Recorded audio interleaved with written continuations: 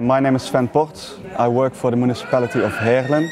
I'm a cultural policy advisor um, and one of the things I focus on um, is public art and the main thing within public art is street art. Heerlen is, uh, was an industrial city um, with a number of problems and deprived areas and we use street art to make it a more colorful place uh, where people will hang out again. It's a public museum so everyone can, can take a look without uh, buying a ticket to, to watch the murals and we know from the tourist board that we attract a few thousand visitors each year uh, who just come to see the, the murals.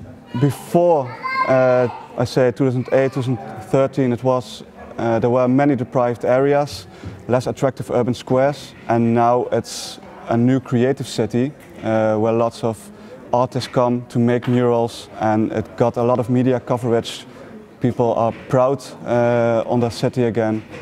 Um, and, and we try to work a little bit with the artist and the community as well in the neighborhood. For example, the artist makes the artwork but we ask the school to come up with the name of the artwork or to make poems about the artwork.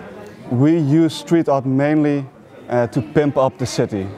Um, so um, we use it on areas where it's most needed, on the ugly spots, on the grey spots, uh, to make it a colorful place again where people can hang out.